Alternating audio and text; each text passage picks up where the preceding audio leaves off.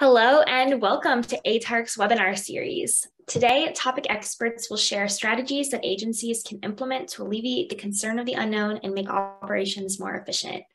My name is Kirsten Patton. I'm a performance consultant over at Dale Carnegie Tampa Bay, and I'll be moderating today's panel discussion. ATARC stands for the Advanced Technology Academic Research Center and is a nonprofit that facilitates collaboration between government, industry, and academia in order to accelerate technology modernization initiatives. ATARC provides ongoing opportunities for cross-agency collaboration through on-site interaction, learning, and market research. I would like to welcome all of our attendees at home and a special thanks to Shelly Scarpelli and the entire Fortinet Federal team for helping us make today's webinar possible. This afternoon, we are going to hear from each of our panelists, followed by a Q&A session where we will pop in a few polls and answer any audience questions that you may have. So with that said, before we begin, I really want to encourage our audience at home to please submit those questions of your own in the Q&A section of this platform down at the bottom of your screen. And if you would like to receive your CPE credits, please be sure to answer those polls as they come about throughout the discussion.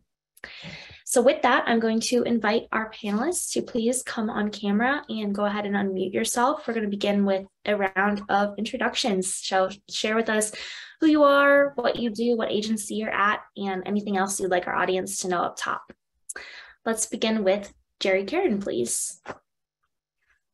Hey, Kirsten, good to see you. Uh, name is Jerry Caron. I am the CIO at the Department of Health and Human Services, Office of the Inspector General. My favorite color is blue.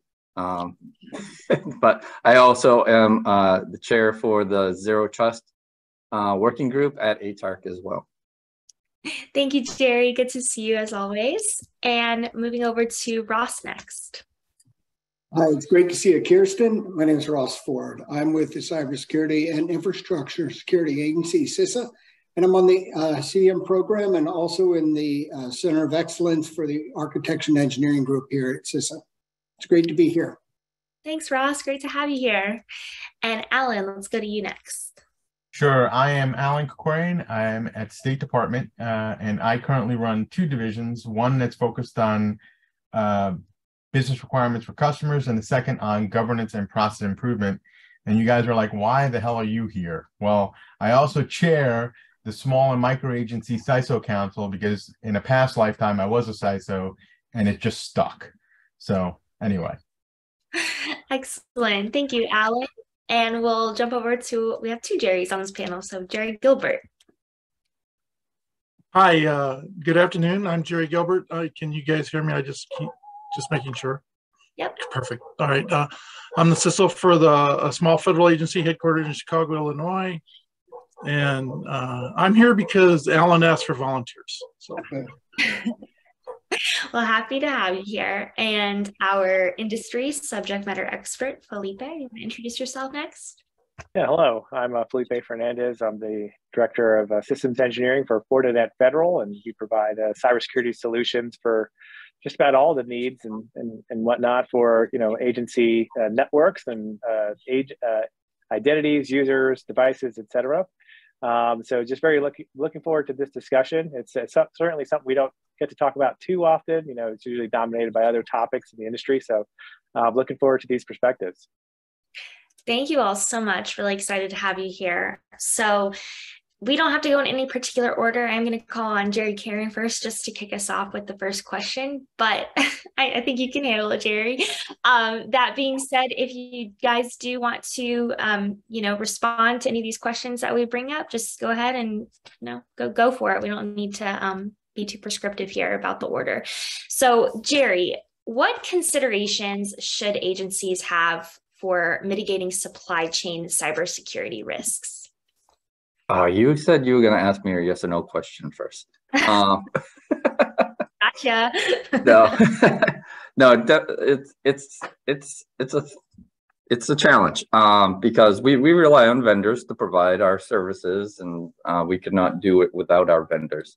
So definitely um, doing the right research. Uh, we do some assisted acquisitions through GSA, which is very helpful. Um, I've also leveraged some uh, research in the past. Um, there's some vendors out there that you can provide certain information uh, to get some research on companies um, because, you know, some companies, you know, while they say, you know, I found that, you know, one company, while you think it's US owned, um, actually, you know, the board of directors sits in some other country uh, after several layers deep of things. So definitely good to be able to do your research. There's a lot of um, places out there to do so. There are vendors that can help with it. Um, we, like I said, uh, we like to use GSA for some of those things. They have pre-approved things. Uh, BPAs um, is also something best to leverage. So um, there's you just got to utilize your resources. It is a challenge um, because uh, there's there's a lot going on uh, in the vulnerability space right now. Uh, we're patching all the time as you may realize, Patch Tuesday is not, it does not exist anymore. It's patch every Tuesday. So it's definitely good to do the research and uh, utilize the resources that are out there. There's plenty of them. Yeah, thank you, Jerry. Um, some of our other panelists, what are your thoughts around mitigating that risk? So, uh, from a small and micro agency perspective, I'll just say this. I mean, realistically, it comes down to also everything Jerry said is spot on, but I would also add that it's about resources and purchasing power. For the smalls, I mean, you have about 192 small agencies. And if you think about the metrics, it's about 40% of them are under 50 resources. So they are going to be very challenged to do a lot of the, the work that's required to do a lot of the analysis that's required. The other kind of challenge that you'll find with the smalls is they don't have the purchasing power to be able to help direct some of the things. They may not have choices to buy the, the ones that meet all the appropriate SCRM standards. They may be stuck using the, the, uh, the resources that they can afford. That's really the, the, the just general basis of what happens sometimes. So that's why they have to lean on CISA as well as other um, agencies to do enterprise BPAs and, and other types of support. Um, and Alan, you know, I'll tell you, it is a, it is for both of you. It's a big task, right? CISA is right in the middle of that. We have uh, our information and communications technology, supply chain management, activities going on, supported by the executive order, if you like numbers, 14017, right? And you know, this is a it, it's actually I think the way they call it is reinvigorating this this this avenue of technology evaluations, right? It's it's been around a long time, but we've heightened desire to actually re-engage in that. And you know that is not the only supply chain that CISA is interested in, right? CISA is um, you know the agency that manages the critical infrastructure, as we said, right? So we have in each of the critical infrastructure domains, we have guidance that we give, uh, you know, the participants in there around various risks in their environment, right? And and that often involves, you know, managing their supply chain. So uh, I would say that the the I think the thing that made this come top to fore, right, this past a couple of years, were you know, we had some critical infrastructure uh, vulnerabilities that, are, that were exploited and made that really important, not the least of which were software supply chain risk, right? And it, it's just an example of our adversaries taking advantage of, of what they can, uh, living off the land, going in where they can find weaknesses that are part of our normal services, right? And, and then trying to exploit them so there's a lot of work to be done and uh, you know we we appreciate that everybody's in this game together are including you know we we can't do anything without our commercial providers as you said right? Gerald said we buy we buy our products from commercial product vendors and that's primarily who we rely on for a frontline defense in in building his products and delivering them to us in a secure manner Absolutely. Thank you, Ross. Anyone else from the panel want to weigh in on that before we move to the next question? Yeah, certainly. Um, if I may, uh, I think some of the other things that we need to focus on is just collaboration on threat intelligence and and sharing information about you know what we're seeing. So you know um, uh, uh products that are installed at, at, at, certain agencies you know can obviously create uh, a, challenge if you know let's say a certain vendor you know has still has telemetry with certain said product and then the vendor starts, uh, you know, uh, experiencing some type of breach. Um, and we saw that, you know, uh, you know, with the SolarWinds type stuff. And so, you know, co- collaboration between, you know, uh, one of the vendors who saw that um, and, and, also with the federal government led to you know being able to mitigate that risk or, or the threat rather rather quickly and i think that's something we got to consider as well so when, when you're starting to incorporate vendor technologies into your agency you know it's important to maintain that relationship uh, beyond you know that point of sale or you know giving them a purchase order to share intelligence about what we're seeing you know what the products are uh, experiencing what the agency is experiencing and the same thing with the vendor. It's you know we, we take our responsibility as a mission partner very seriously um, and we make sure you know our customers particularly the federal government agencies are aware of what we're seeing what's going on with us so that way they can be prepared for any threats that you know perhaps we're encountering you know, I couldn't agree more. I mean, you know, look, ATARC is a really great example of how this information and collaboration is is coming to fore, right? And you know, CISA couldn't with, without partners in the industry, we wouldn't be able to do our mission at all, right?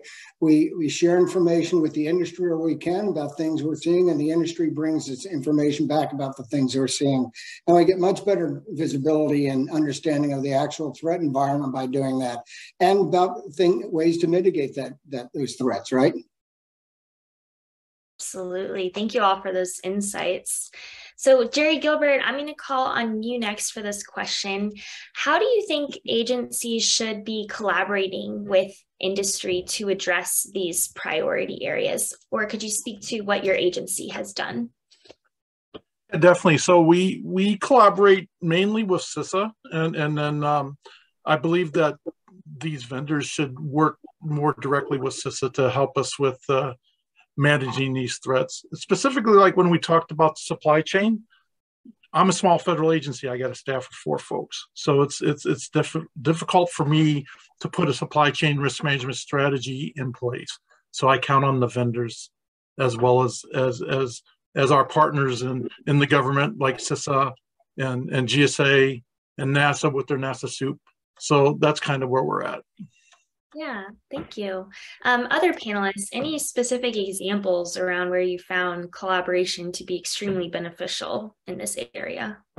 So, so if I may, um, because I run the, the small micro agency council, uh, to to Gerald's point, when the SCRM requirements came out, we actually all pulled together and, as a collective of I think 40 people, pulled together templates that the whole community could use uh, it was actually a, like a great show of, of, what the community can do when it comes together to really uh, do this like um, big think, if you want to call it that. And you know, realistically, for this, I think, uh, and the reason that that was so valuable is again because of the resource constraints a lot of these small agencies have. I mean, Jerry just told you he's got four people and he's got to deal with all the mandates, and and that really tends to be very difficult and challenging. But we need and, partners to really work with. And I want to say, you know, Ellen does a great job with the Small Agency Council. We meet with them um, periodically, right? Very often to talk about the things they need from CISA and to provide information that we can uh, on on the on the situation, you know, that situations that are going on in the world, right? Uh, and and I'll just say that uh, it, it's it, it's not only it's not the only interaction that CISA has with small agencies. Uh, my program, the CDM program, operates a shared service that helps uh, small agencies acquire uh, cybersecurity tools that would be really difficult for them to do based on their size on their own, right? So we offer them as a shared service, and we really do believe that they, that's a real valuable way uh, to get these uh, these capabilities, good visibility, and good insight into what's happening in their environments. And that information is is there for them to to operate along with the big agencies, right? In the same manner, they get to see the same visibility through the CDM dashboards. Thank you. Anyone else on the panel like to add to that? Yeah, um, I mean, I've chaired two working groups at ATARC, and that's been extremely valuable. I mean, we have 20 plus um, agencies and 60 plus vendors participating in our Zero Trust um, working group. Um, there are a bunch of other working groups, but um, from the TIC 3.0 working group and the current Zero Trust working group, we're not just throwing out white papers and things like that. We, we're, we're putting out actionable things and templates like our functional capabilities model that people use and vendors go keep going where did this come from? Because customers keep using it with them. Now vendors are using it with their customers.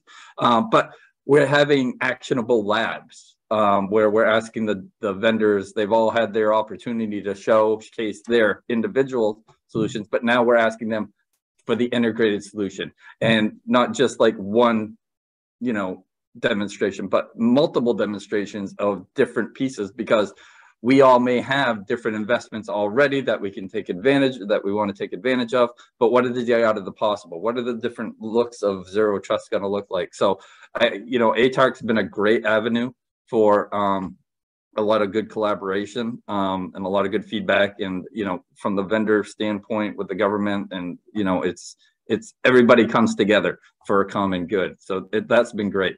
Um, Ross mentioned shared services. You know, I'm a beneficiary. I'm becoming a beneficiary of shared services, and those are great collaborations. Uh, for instance, um, the Department of Justice, we are, you know, uh, entering into an agreement with them to use SOC as a service. I am, I am actually very small. Um, as part of being an OIG, I wholly run our own systems, you know, to avoid things like conflict of interest and things like that. So um, you know, I don't have the staff to maintain a fully robust SOC, or it would take me years to get to where the DOJ was, who has been certified by DHS to provide such services.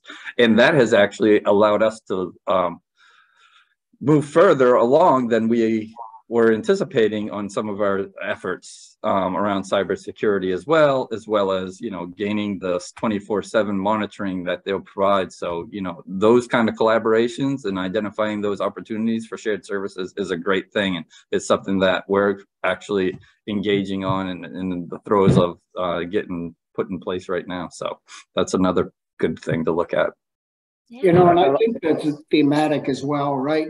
What when I see the evolving technologies through the cloud delivering as a service capabilities, it, it makes it both easier to acquire services that are already developed instead of everybody having to develop the service themselves and it gives the ability to, to provide meaningful services to a, broad range of the size organizations, right? No longer does a smaller organization not have the ability to take advantage of that service because it's it's just a smaller delivery of the same service, right? And for your large agency where you have a federated, large distributed organization, you may have many instances of the same service, right? But I think the real key here is that service delivery model really helps us uh, get capabilities in agencies' hands faster, and we and we fully anticipate to see much more use of those service delivery model in the future. Yeah, yeah. I, I just want to uh, add to that. I love the the theme we're going on about uh, you know making things easier to consume and, and acquire, uh, particularly for the less uh, not as highly funded agencies. I think another contract vehicle that uh, has been tremendously successful in bring, bringing these capabilities is EIS. Right. So now you know agencies have the ability to bring in services uh, consolidate some things and you know from tier one providers who can also optimize you know whether it be you know WAN connectivity uh, things of that nature uh, so not just cybersecurity perspective but also you know holistically looking at you know providing a better user experience providing uh, higher security capabilities um, with you know industry experts who have been doing this for for decades. So you know getting that mastery of, of WAN uh, you know provisioning as well as cybersecurity experts uh, in one contract. So I think that's another valuable one as well, along with CDM and shared services offered through GSA and others. Thank you. Excellent insights from our panel. Thank you all so much. We're going to pause real quick and put up our first poll question on our screen. So again, if you'd like to receive CPE, make sure that you respond to this. Do you expect your biggest challenge in meeting these priorities to be around shortages of people, adequate processes, technology, or something else? So we will have that up on the screen there. Make sure to respond to it. Okay, moving right along to our next question, though. Let's start with Ross on this one. If you could kick us off, please. On the matter of human capital, how can agencies address their cyber workforce needs? Well, certainly every agency is uh, trying to compete against a, a small, uh, although growing workforce, right? Uh, it's not only are the agencies needing to hire more skilled cybersecurity professionals, but but industry is in the same situation, right? So uh, one of the ways that that my agency has attacked that is we are built, we're building you know new uh, ways to uh, bring people on board, um, and you know cybersecurity talent management system that we have uh, allows us to get people. Um, maybe not they're going to they may not be hired as full employees in the United States government. They may be there for a shorter term, right? Uh, it's skill based. Uh, I'm on the GS schedule. These the people that are hired through the Southern Method uh, are hired based on skills, and, and they may not be there for a long term. There have been agencies have been doing this for a while. You have term appointments, but this is something that CIS is uh, looking at doing to get the right people that they need for a certain uh, exercise or a certain uh, program for for the time they need it. Um, you know, my program, they we've been using, I mean, my organization, we've been using some uh, uh, pay pay enhancements to enable to get people to, that to be closer to parity. And I think all of those things are things that the, the HR uh, work for, the HR professionals are looking at enhancing, you know, acquiring workforce. It's not easy. I think one of the things that when I'm talking to people about about joining CISA, I really do uh, talk about working for the best organization I can think of and great leadership. And I really do believe that.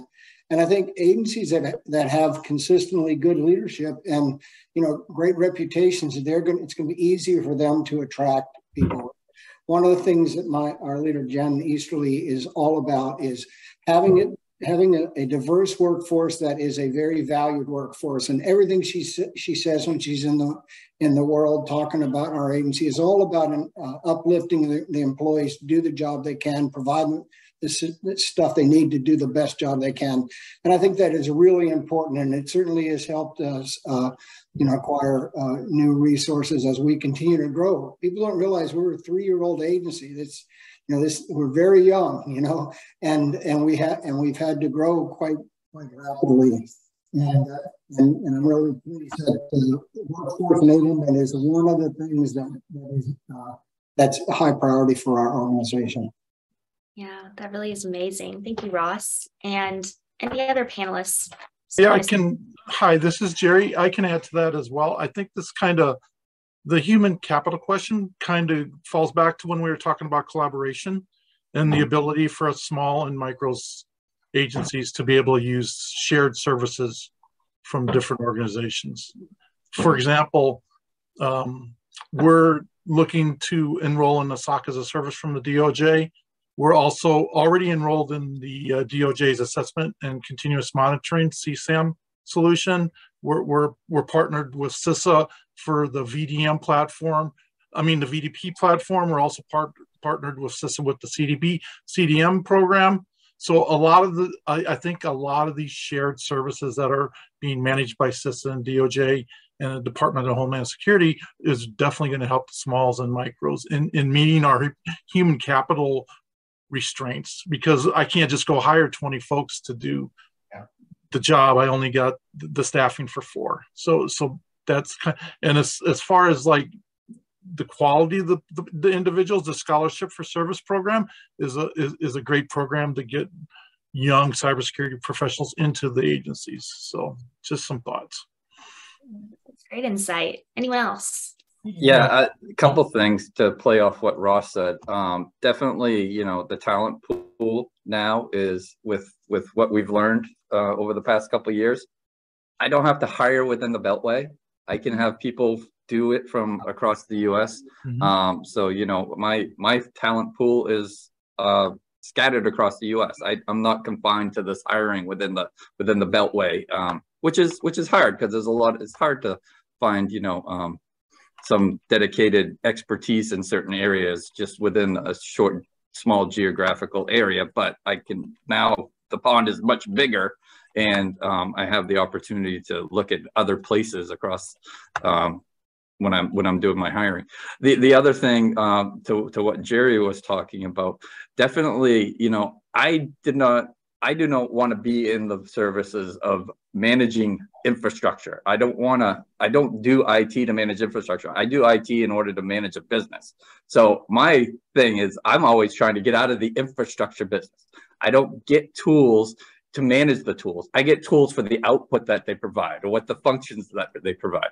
Um, so, you know, we're looking at things like not only as a service um, uh, from from other agencies such as SOC services and some of the things Jerry talked about, but you know, where the vendor you know, manages the back end infrastructure and I get to take advantage of the front end infrastructure. And now I'm not spending all my time and my re- my resources on managing that thing, upgrading that thing. It's being done by the vendor. I'm getting the advantage of focusing on what I needed for my mission in order to get out of it. So that's something I'm definitely working to try to get myself as out of the infrastructure business as much as possible so I can take advantage of the front end tools. Mm-hmm. Alan, you looked like you wanted to say something too. Yeah, so so the the other thing eh, that's funny is, you know, a lot of the small micros, they have folks that are double or triple dutying in terms of roles. And and it make it gets to be very challenging at times. But you know, I think one of the biggest things we could do as federal agencies is we really need to uh, hiring people is great, but I'm also a very big believer in mentoring uh, staff to bring them up the the chain and, train them. Like right now, even though I'm not really doing any CISO work directly, I mentor a lot of folks uh, at, Smalls and either at some of the other agencies to help grow them to really be the future cyber folks that we really need. Because I, think it, it's one of the biggest and best things we can do for for for the the government to be honest with you. Because if we grow them into that field it's going to be a lot easier than us just going to the beltway or outside the beltway and, and bringing them on. Anyway just just my two cents. Yeah absolutely. Anyone else? Yeah uh, i'd say from an industry perspective you know obviously you know we're trying to compete for that same cybersecurity talent as well um, but I, you know, I will say something I've noticed. You know, uh, the the recent graduates, you know, the talent pool are, are coming out more readily than ever.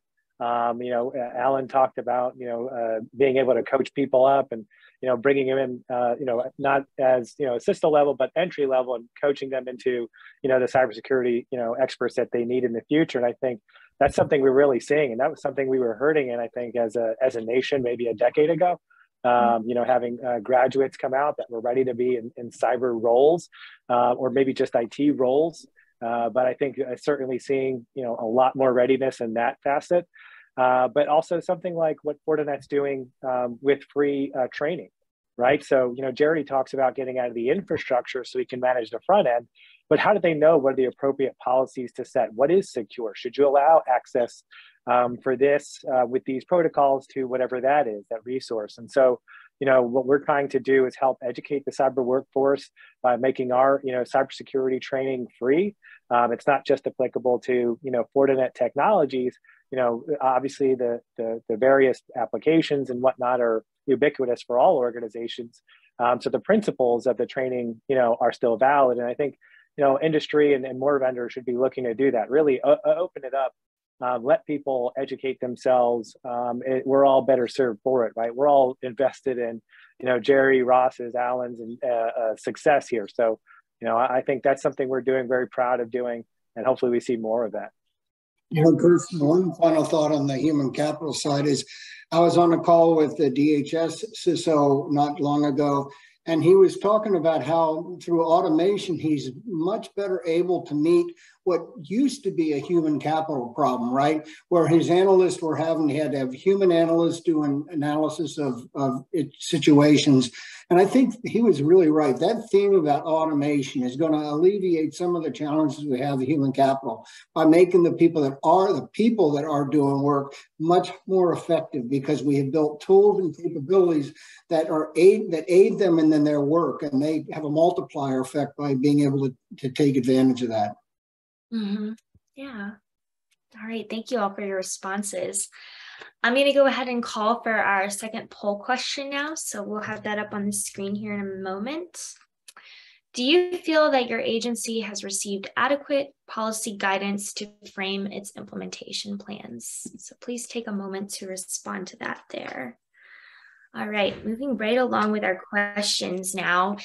Uh, Felipe, I'm actually going to uh, ask you to start us off on this first one, on this next question here. Uh, what do you see is the role of the private sector when it comes to helping agencies implement their priorities? Yeah, uh, honesty. Uh, we'll start there. Uh, you know, it's it's it's really hard to to combat um, you know some human behavioral influences and and you know and but you know it's really it's important right we understand you know, um, you know, the uh, how important this is in terms of the matters of you know the security of an agency, security of the public, and assets that are really important to our nation, right? And so, you know, that's something we we hold our you know employees to a very high standard of integrity and making sure that you know when we're talking to agencies about what their needs are, what their gaps are, and what they need to be filled, that we're only talking about we're being you know completely honest about where we fit, how we can help them, um, and we're also bringing in other partners as well. It's important, you know, where we understand what's out there, what tools are out there. We do a lot of competitive uh, analysis as well, and also partnership analysis. And so when we're, you know, we have the opportunity to, to bring another vendor to the table um, to, to help, you know, fulfill an agency's needs and, and really set them up for success. It's really important for us to do that. So I think really just understanding, you know, the criticality uh, of the business we're in you know, um, I like to tell people, hey, good news, cybersecurity is as important as we wanted it to be 10 years ago. Hey, uh, bad news, cybersecurity is really as important as it is as we wanted it to be 10 years ago. And it really has, uh, you know, it, it, can have, you know, really great things for our, our country to be successful, or we can have mm-hmm. really grave impacts if we don't take it seriously enough. So, you know, for us, we just take it, you know, uh, it, it's it's just the integrity of, of how we do things and making sure that we're listening to agencies about you know what's coming down the pike what they're looking to implement.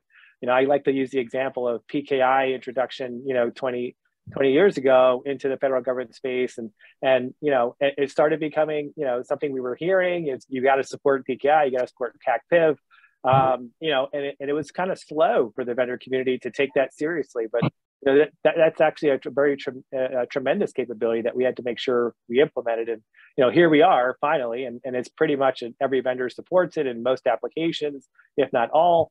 Uh, but that's just a small example. You know, there's a lot of other things that are coming up, and we, we need to really listen to our agency uh, customers and and really roadmap, you know, the gaps in our product. So we take that seriously. Yeah, thank you, Felipe, for starting us on that one. And then same question to our government folks. Um, you know, you don't have to like call out specific uh, people you worked with in the past, but what does that relationship look like when it's worked really well from both sides? I would just add that I think that uh, realistically, um, everything Felipe said was 100% spot on. We we as the government need to partner with uh, with the vendors and the vendors, you know, it's it's a collaboration. We really both are in this boat together when it comes down to it, and and we both have a, a skin in the game to make this all successful. So, um, I mean, there's I can name a few vendors that that have definitely done that and have done some good jobs for, in terms of trying to make that happen. Uh, but you know, I think it was spot on. I mean, it really is a partnership, and that's. It's really the best thing to, to, to really have. The, the other thing I would just kind of mention is not every agency has the deep pockets uh, or, or deep bench of, of resources to do a lot of the research. I, I think that's why the, the, the partnership is as, as very important. So. Mm. Thank you. I want, I wanted to key on one thing Felipe said is what I'm seeing more and more of, which is beautiful is the vendors partnering together. You know not coming in and showing us their their their niche uh, stovepipe solution and then me turning around and trying to figure out how it fits in my puzzle piece over here. Uh, but they, they're we're really seeing more partnership between the vendors and how they work with this product that product or that product depending on what my needs are what my investments already are. We're i'm seeing a lot more of that and that's very refreshing you know um, and you know it's not a one size fits all um and but that partnership and showing the art of the possible because i mean it's an integration effort. It's not like i'm going to buy one tool and go it's going to go sit in the corner and just do its thing. No i have to do i have to integrate it into my whole infrastructure um in some form or fashion whatever it may be. So it's got to it's got to work concurrently within my architecture.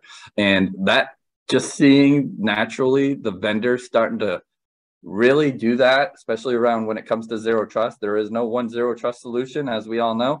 They're really partnering with each other to kind of bring together that suite of things of the art of the possible that will work together to get you through um, the maturity of all the pillars. So that that's been something that I've been naturally seeing. That's something that we're seeing in our working group as well.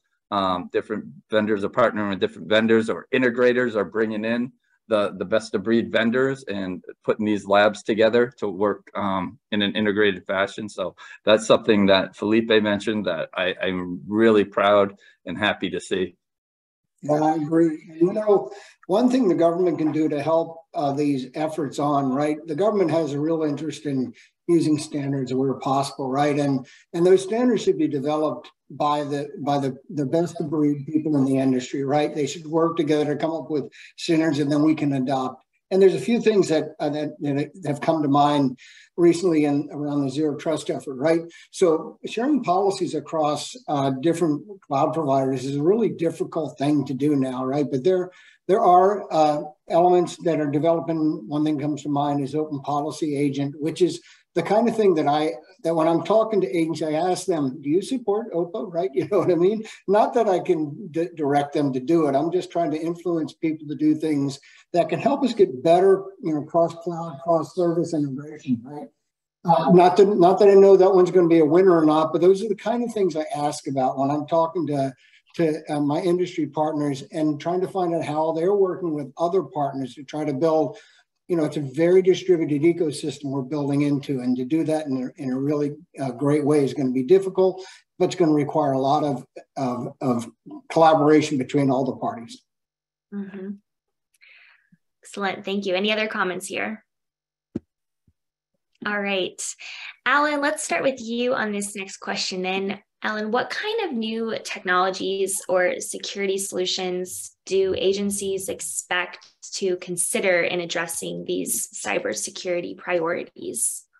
Uh, so you asked me the hardest question, of course, because I know you can handle it. well, well, it, it's you know it's kind of funny because if you if you look at the standards and um, and the vendors that are involved, it's a it's a it's a whole bingo card of names when it comes down to it.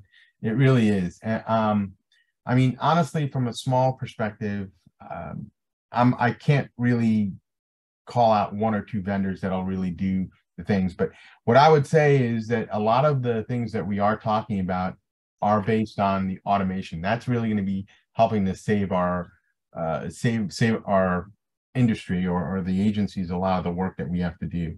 Um, a lot of the AI tools that are out there, I think, are, are really making a lot of headway into really pushing pushing the envelope. And especially with uh, any of the supply chain risk management, you know, when you're talking about mitigating attack surface, vendor risk management, code validation, and, and even some of the geopolitics that are involved, I think those, those automation tools are really going to try and help a lot. Um, I really don't know what else I could say, to be honest, but. No, that was perfect. Thank you, Alan. Um, anyone else thoughts? Hey, uh, yeah, this is Jerry uh, Gilbert. I'd like to add also that that with the new technologies, you know, agencies smalls are really specifically being asked to move towards the cloud. So like with these new technologies, we've got to make sure that that these cloud technologies are FedRAMP certified. So that that's that's a key factor because there's lots of times I'll talk to a vendor and they'll, the first thing they'll, they'll say is, yeah, we're in the cloud. And I says, you're in the cloud. Are you FedRAMP? And they'll say no. And I said, well, then I can't use you because it's mandated that federal agencies have to use FedRAMP cloud services. So that's just a, just something for the, for the private vendors to be aware of that if you want to start working with the government, you definitely need to move towards the FedRAMP certifications. That's it. Great point. Anyone else? Uh, I think a lot of people focus on identity. Uh, that's been in, in, the works for a long time, and there's nothing wrong with that. And it is very important. Uh, you want to get right right data to the right people at the right time. But one of the areas that we're focusing on is data itself and doing that data mapping, understanding that data and understanding what that baseline is, what that flow is. So we because that's what we're trying to protect at the end of the day. Um, so, and then being able to do data segmentation, I think is, is very important. So that if some data gets compromised, it's segmented from the rest. Um, so you, you kind of stop that lateral movement. So that's something that's very important to us. Um, I, I, could go on forever about a list of other important things. Um, you know, Alan uh, mentioned automation.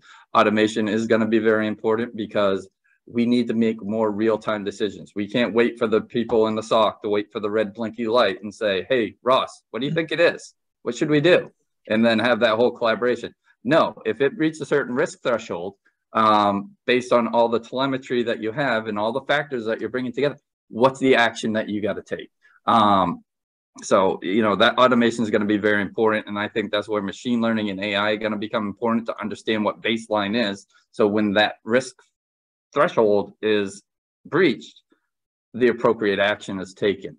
So definitely integrating the telemetry, whether it be from the cloud, on premise, device, application, uh, authentication, access, all that telemetry is going to add up to some kind of risk depending on the target and they what, what your tolerance is, what you're going to allow, and if the like I said, if the threshold of somewhat is breached based on a fact, one of those factors changing, um, that's got to be an automated fashion. Um, it can't wait for, like I said, the red blinky light, the analyst to sit around and say, "Hmm, wonder what it means. What do I do?" And by the time you know, it's a little too late at that point. So we got to be a little more uh, proactive, and so automation, um, integration and definitely understanding the data which we're trying to protect at the end of the day i think i think it's important but I, there's a bunch of other important things um, not to disparage them or anything um, but those are those are some key things and you know what Jerry just described is the way I look at the world these days. It really is through a lens that we call zero trust, right? So whenever I'm evaluating a technology that, you know, people are asking me what I should do about a certain technology or even a certain system they're introducing, I try to walk them through a flow of, you know, who's going to access this information or what system is going to access it. You know, what type of people are going to be in that? How do you, you know, what are you going to share information with? And I and I look for architectural components to put to, to put in that in, in you know the security capability within that that uh, system, including things like if now if you if you found that an information is is has been released, right? How are you going to mitigate that risk, right? So it really is taking a you know kind of a whole of view uh, of approach to the systems you're doing. Uh, you know, making sure that you segment the data that is sensitive from data that's not sensitive, finding out the best way to do that through your controls you're going to deploy, right? So is it going to be uh, identity and access management? Is it going to be segmentation of a network? Is it going to be segmentation within a database? All of those things are relevant things to do. And, you know, and that's how you should make your technology decisions is, you know, based upon the use case, the sensitivity of the data you have. And as, as Jerry said, an automation is really going to help you be able to frame what you need to do, right? Uh, you know, and how you can do it as in as you put this system into operations. Excellent. Thank you all so much for your comments there. Anyone else? Yeah, I I I just like to touch on on all those points, uh, and maybe the, the the thing we can uh, add to that is you know automation, data, you know, and all these things that only creates more data, right? And mm-hmm. so you know, uh, what, what happens when, you know, the RPA developer contract ends, you have your automation configured, you know, how, to, how are you going to assess, you know, the data that's coming in and to understand if you have to create new automation, you know, capabilities, how, how do you know if you're seeing new things? And I think that's where, you know, AI enabled technologies really comes in, right? So if we're going to really enhance um, and keep up with the amount of data and transactions that are occurring, especially those that are happening because of the integrations we're, we're creating, because of zero trust that we're implementing, um, we're going to have to have AI enabled, you know, products that are, you know, supporting that. So whether it be, you know, uh, diagnosing a WAN outage um, or finding patient zero uh, from malware, um, you know, being uh, brought into the network, you know, that needs to be AI enabled tools. And so, you know, Fortinet in particular has been investing heavily in that area and deploying products, you know, as recently as just this week, um, you know, that have AI in them to help out with these uh, particular you know issues. Um, but that's really you know going to be imperative if, if we're going to keep up with the amount of data that we have and you know that we're creating on the network. You know, we've got to be able to discover when new things need to be, new capabilities need to be inserted, or new rules. You know, wh- when have we gone outside of the norm? You know, what that, what's that standard deviation? Um, and so I think that's a, a focus, and and we've certainly been hearing that you know, from our mission partner, well, from the government uh, customer themselves, um, you know, it's really just those particularly who are consuming lots of data and there's no way to keep up, even after the automation.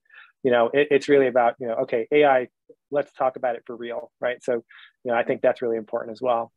Yeah, thank you, Felipe. You're welcome. All right.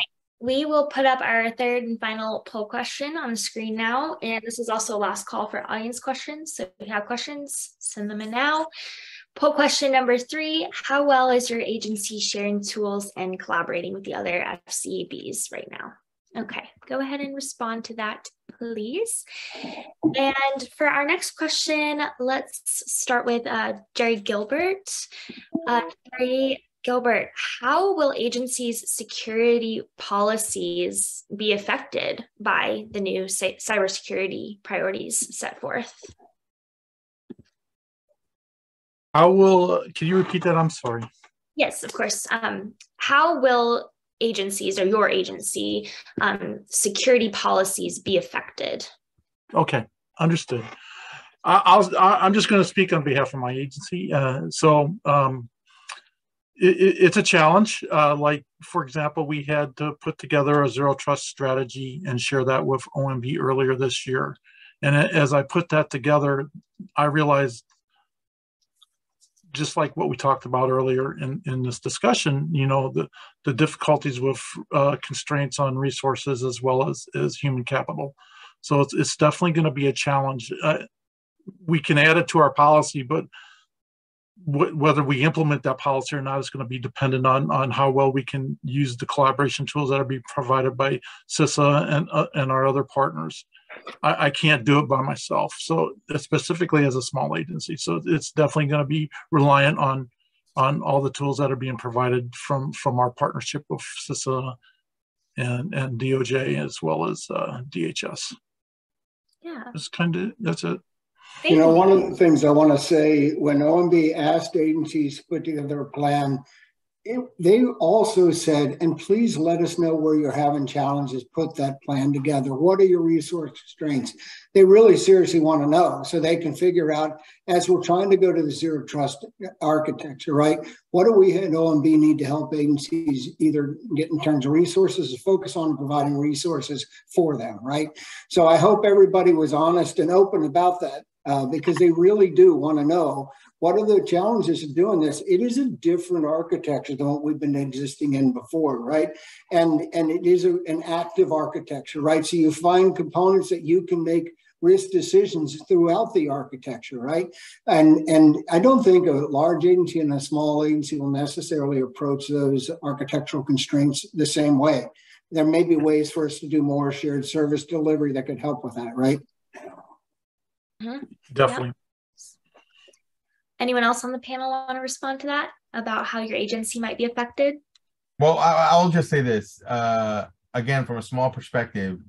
Um, smalls have limited resources, and if you do one or two mandates, challenges, etc., uh, they'll be able to consume it and, and, deal with it. But the thing is, right now, I think over the last year, um, if I kind of look at the mandates and the various BODs and, and the various different mm-hmm. guidances and things that have come out, it's been like a, a, a huge flood of re- requirements that folks uh, that the smalls have been uh, asked to to implement and, and do different things with, and you know that gets to be challenging because they have to then decide well what is the worst best answer I or best worst answer I can give you know, because it, it's hard to do everything. So they have to pick and choose which is the right priority for them.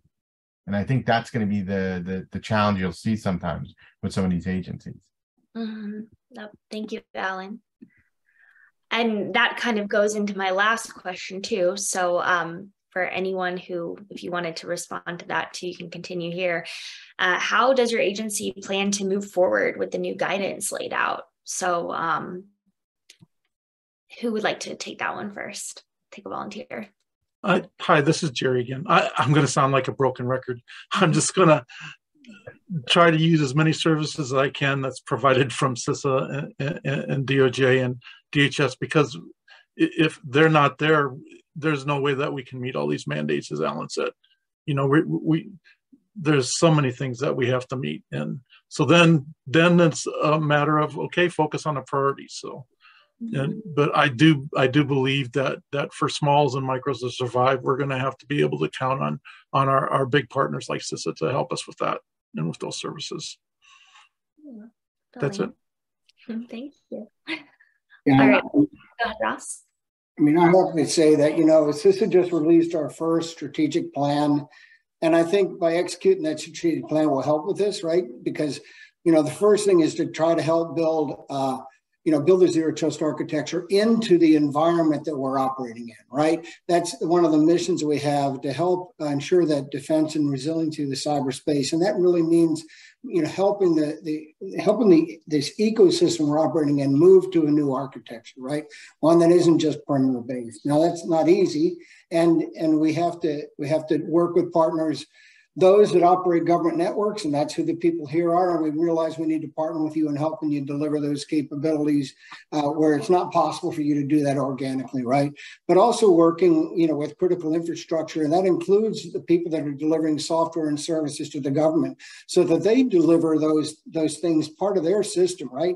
And not just to the government. I mean that that is part of the infrastructure that you can when you're buying products that they have defensive capabilities that, that are built into them. So then Jerry doesn't have to go build a capability for everything he's trying to do, right? That'll help him, you know, get to it kind of a zero trust uh, approach to it.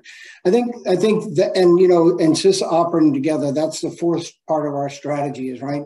So that we communicate with each other so that when we're with the small the small agency council and we're working with critical infrastructure groups that we have of you know the same vision that we're, we're taking everywhere and that you're hearing consistency from CISA about how to attack these uh, risks that we see in, in the industry today.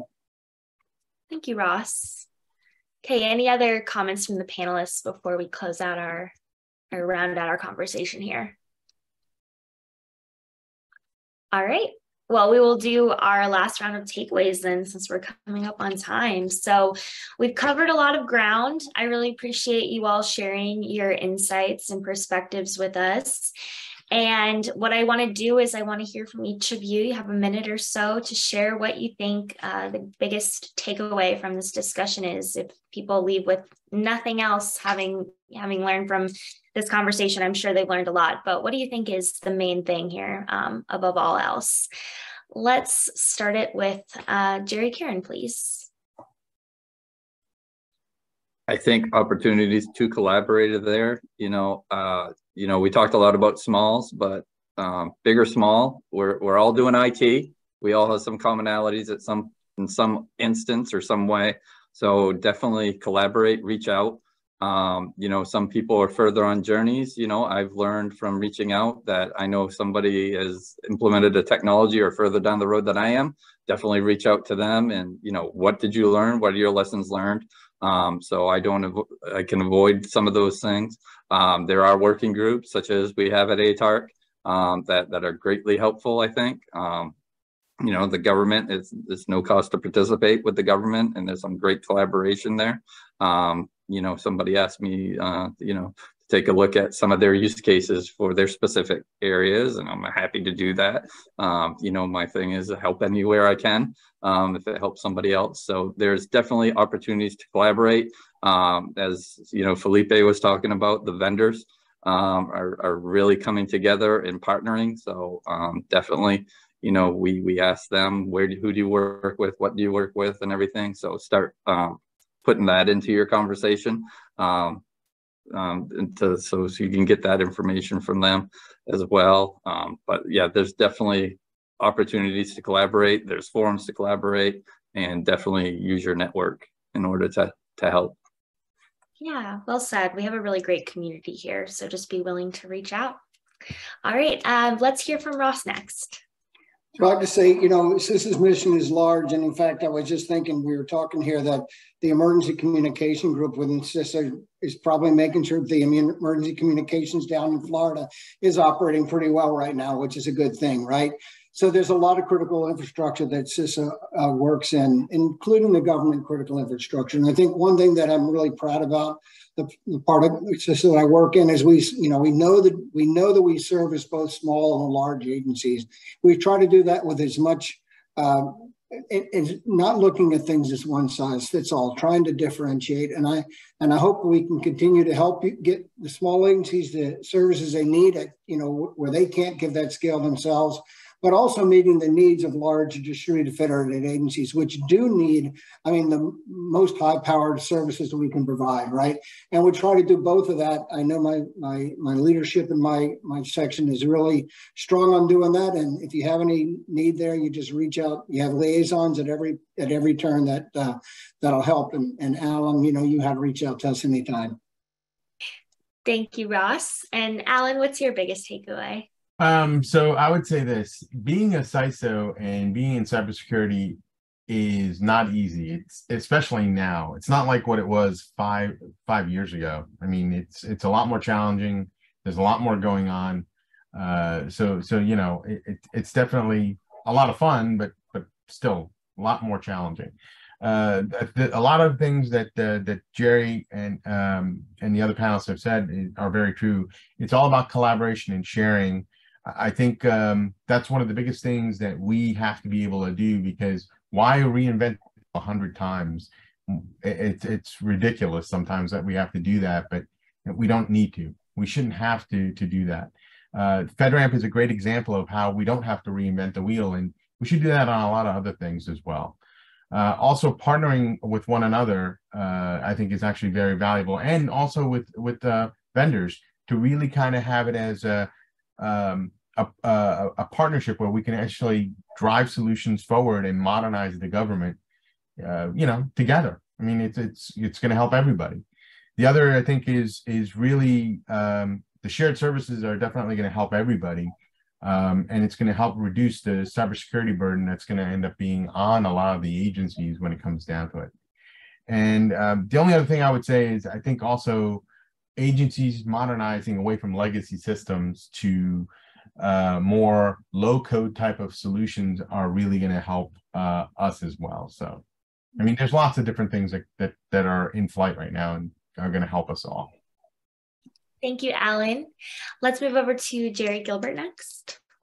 Yeah, uh, thank you. Uh, I, I, guess I just kind of echo the same thoughts that everybody else just mentioned: collaboration and communication.